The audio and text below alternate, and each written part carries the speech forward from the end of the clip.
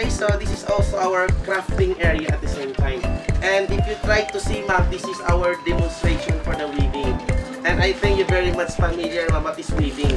In Tagalog po, this is what we call paghahabi. And if you want to know in Bisaya ma'am, paghabol or maghabol. That's our dialect. But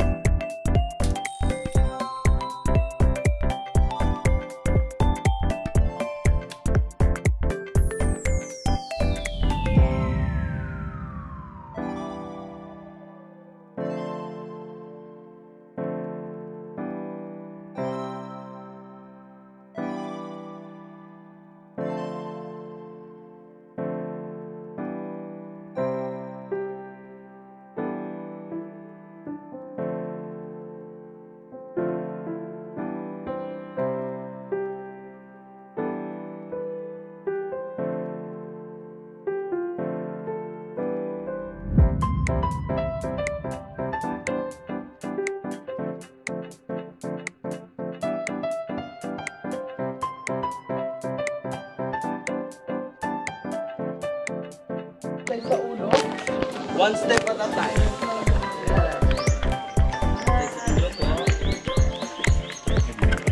Ah, may ilaw po sa baba.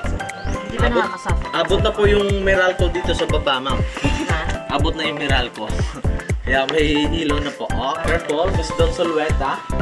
Protect your outfit. Kasi yung outfit hindi pang egg. Parang magja-jogging lang pa. Bali, pag may nakita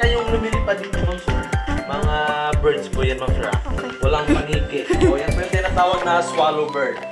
Yung nest nila ginagawang bird's nest yun po.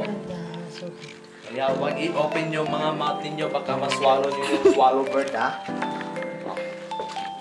Ah, pwedeng manghiram ng cellphone o camera ma'am. Picturean ko po kayo or mas mabuti Kuya, cellphone na na. lang. Kasi yung camera ginamit ko kahap kahapon. Tubig na galing sa itaas po. Pag malamig, holy water po yan ma'am. Pero pag mainit, holy shit. Kasi ipot ng ibon. Stop lang po muna dyan sir ha.